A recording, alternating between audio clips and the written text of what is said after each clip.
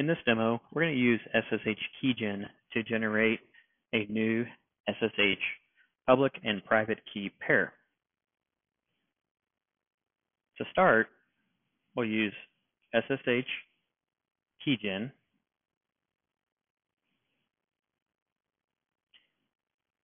And if you want to get the help menu for this tool, you'll need to type in dash dash help. Just doing dash H will not pull up the help.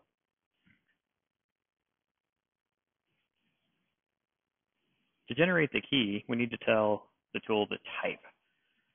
For this, we're going to use the ED25519 keys.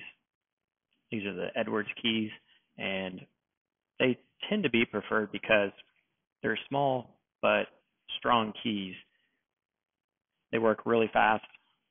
They're pretty secure, and they don't have some of the problems that some of the older keys have. Also, the older keys tend to be really large files because in order to get the key strength up for the older style RSA keys, you have to have a very long key.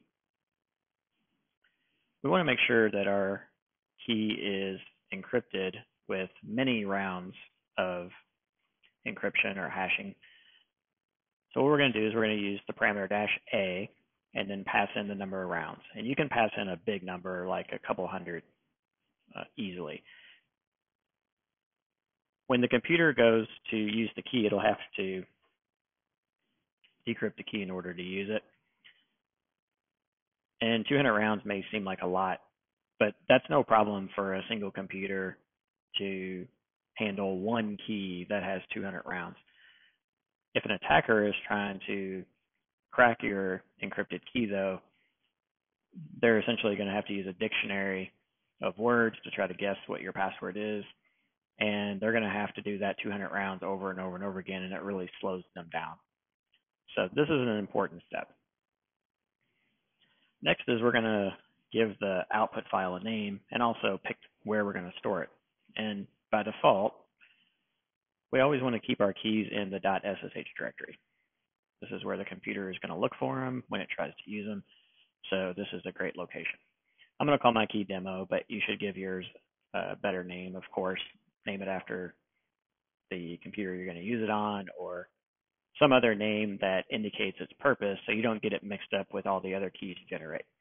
You don't want to reuse your keys for a bunch of different purposes, so you'll probably end up with several keys and you want to make sure that the naming convention is good. And this is it. We're ready to generate the key. We hit enter. The next thing we have to do is type in our passphrase. This is the passphrase used to do the 200 rounds of encryption, so you want to make sure it's a good, strong passphrase. You'll need to type it in twice.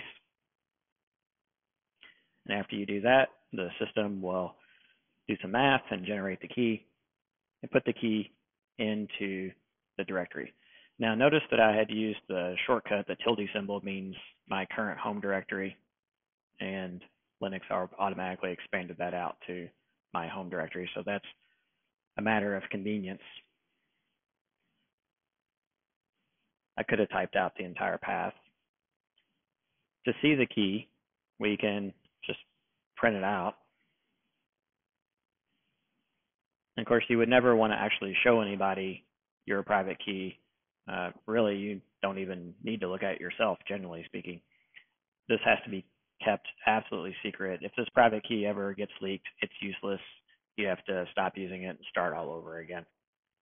Now, the public key is going to be the same name, but it's going to have .pub on the end. And this public key is the one that you would put on the servers or in the cloud that you want to use your private key on. It is public, and so you don't have to worry about keeping it secure.